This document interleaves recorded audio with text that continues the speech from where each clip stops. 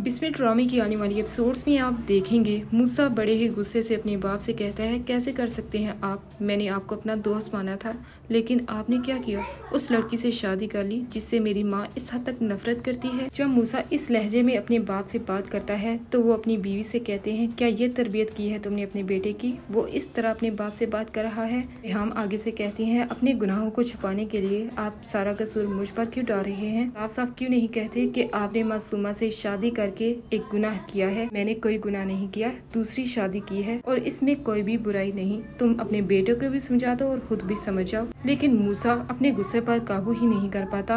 आपको हर कीमत पर मासूमा को अपनी ज़िंदगी से निकालना होगा। आपको अंदाज़ा नहीं कि मैं लोगों को किसी सूरत पर मुँह दिखाने के लायक नहीं रहूँगा। लोग हमारे बारे में किस तरह की बातें बनाएँगे कि आपने ऑफ़िस की कुलीग से ही शादी कर ली? डैड मैंने सोच लिया है। जब तक आप मासूमा को अपनी ज़िंदगी से निकालने के लिए तैयार नहीं होंगे, मैं आपसे बात तक नहीं करूँगा। हमेशा के लिए इस बात को भूल जाए कि आपका कोई बेटा भी था। ये कहने के बाद वो गुस्से से वहाँ से चला जाता है। उस वक्त तोकीर साहब रेहाम से कहते हैं, ये सब कुछ तुम्हारी वजह से हो रहा है। हमारा एक ही फूल था। अगर ये भी हमसे छीन गया ना तो मैं तुम्हें कभी माफ़ नहीं कर पाऊँगा। वो मूसा को समझाने की कोशिश करते हैं, लेकिन मूसा अपने कमरे का दरवाज़ा बंद कर लेता है।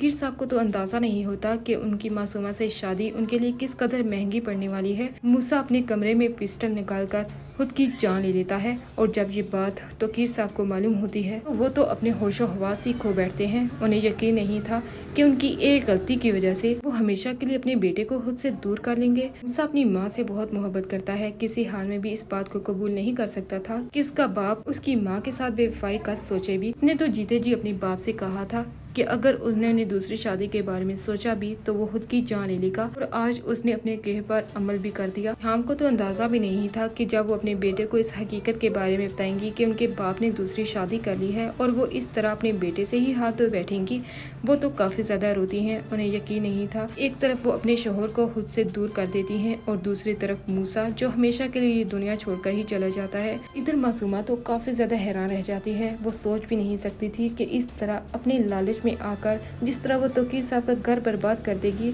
सिर्फ़ चंद दौलत की खातर इस बात का डर उसे लग जाता है कि कहीं तोकीर साहब उसे अपनी ज़िंदगी से ही ना निकाल दें। वो तोकीर साहब को समझाने की कोशिश करती है, लेकिन तोकीर साहब जब भी मासूमा को देखते हैं, उन्हें सिर्फ़ अपने बेटे का चेहरा नज़र आता है। इसीलिए वो जोरदार थप्पड़ मासूमा के चेहरे पर मार देते हैं। तुम्हारी वजह से हुआ है ये सब कुछ, तुम्हारी वजह से। तुम मेरी ज़िंदगी में जब से आई, मेरी ज़िंदगी का सुकून छीन गया। मेरी बीवी मुझसे नफरत करने लगी। मेरा बेटा मुझे छोड़ चला गया। मासूमा को तो अंदाज़ा भी नहीं था कि लालचपन में आकर वो किसी किसी का घर इस तरह बर्बाद कर देगी। तो कीर साहब ने इस तरह अपने बेटे को हमेशा के लिए खो दिया और अपनी बीवी से दूर हो गए कि रेहान तो अब किसी सूरत पर। तो कीर साहब की शक्ल तक देखना पसंद नहीं कर पा रही। आने वाली एपिसोड्स कब ज़्यादा इंटरेस्टिंग होने जा रही हैं।